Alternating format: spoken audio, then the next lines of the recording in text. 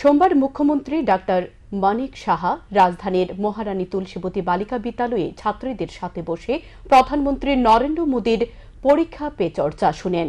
এদিন প্রধানমন্ত্রীর অনুষ্ঠান শুরু হওয়ার আগে মুখ্যমন্ত্রীকে উত্তরীয় পড়িয়ে শুভেচ্ছা জানান স্কুলের ছাত্রছাত্রীরা। মুখ্যমন্ত্রী বলেন দু হাজার আঠেরো সাল থেকে প্রধানমন্ত্রী নরেন্দ্র মোদী পরীক্ষা পে চর্চা কার্যক্রম করে আসছেন। প্রধানমন্ত্রী ছাত্রছাত্রীদের উদ্দেশ্যে পথ প্রদর্শক হিসেবে বক্তব্য রাখেন। পরীক্ষা সহ সার্বিক ক্ষেত্রে ছাত্রছাত্রীদের মনোবল বৃদ্ধি করার বিষয়টি তুলে ধরেছেন প্রধানমন্ত্রী। প্রধানমন্ত্রীর বক্তব্য শুনে ছাত্রছাত্রীরা আপ্লুত।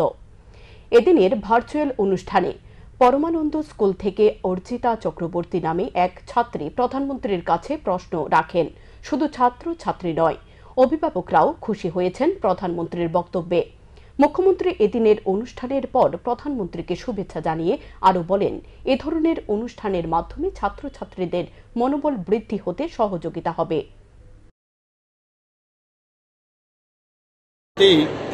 মাননীয় প্রধানমন্ত্রীজি যা যা বললেন, অনেক কিছু শেখার আছে।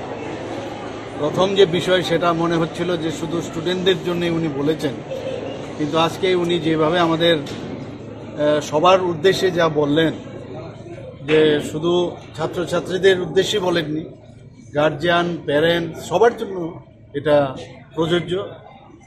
আমার সবচাইতে ভালো লাগল যে আমি প্রথমে ভেবেছিলাম যে কীভাবে পরীক্ষার মধ্যে কীভাবে টেনশন ছাড়া স্ট্রেস রিলিফ কীভাবে করা যায়, এই বিষয়ে উনি কথা বলবেন।